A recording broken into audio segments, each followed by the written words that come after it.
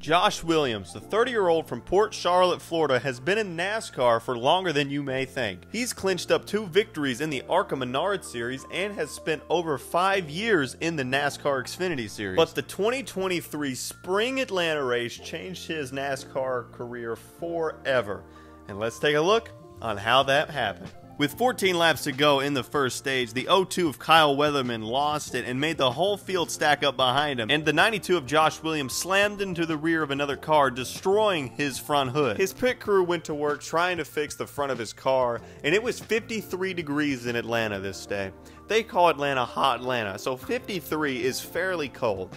And while they were trying to put the Bear Bond in the tape, it was too cold and the Bear Bond and tape just wouldn't stick together. That's how cold it was. The tape flew off of his car. There was nothing he could do about it because it was not warm enough for it to stick to the actual race car. But Nonetheless, they went green, and then the caution came out for debris on the racetrack. The debris was for the 92 of Josh Williams. NASCAR said that Josh Williams was purposely trying to delay the race, and they said, okay, buddy, you're out of the race. And he said, you want me to park it? Oh, I'll park it. He parked his 92 machine on the start finish line and walked to the garage, waved to the fans, and NASCAR did not like that. There was nothing that Josh Williams could have did differently in this situation. This is honestly NASCAR's fault for not realizing that the Bear Bond and tape would not stick due to it being so cold.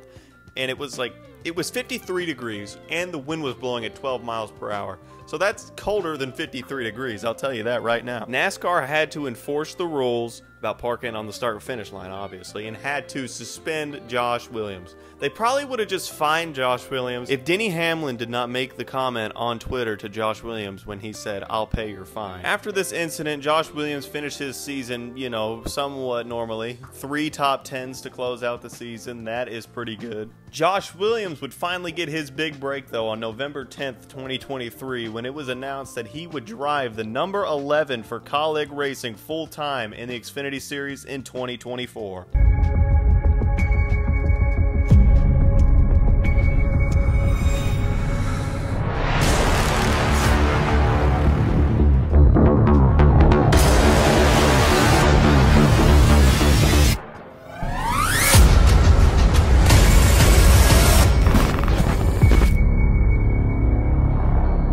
This is a huge opportunity for Josh Williams. He has never raced in a championship caliber team. Now he has the chance to prove to us that he's more than a one and done and more than five minutes of fame with the start and park on the start finish line. And he's going to prove what he can do in more than one series. It was announced not too long ago that he would race part time in the Cup Series with Kaulig Racing in the number 16. And his first race in the Cup Series with Kaulig Racing is in the Clash at the Coliseum. Josh Williams here. Proud to have our sponsor, Alloy Employer Services, with us. Been with me for many years. They've been at the highest of highs, lowest of lows. Now we're going to take them all the way to the top.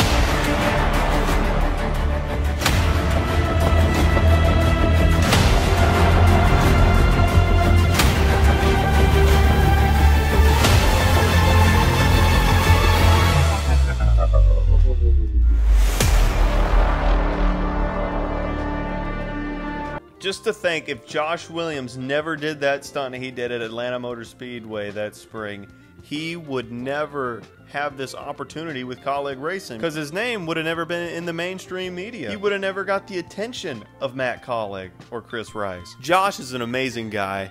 He is known for going to children's hospitals and bringing the cars, dressing up in the fire suit just to try to get their mind off everything that's going on and just trying to put a smile on their face. You know, I feel like you can use this as an example to prove that good karma does exist. Congratulations on your opportunity, Josh. I hope you do big things in 2024.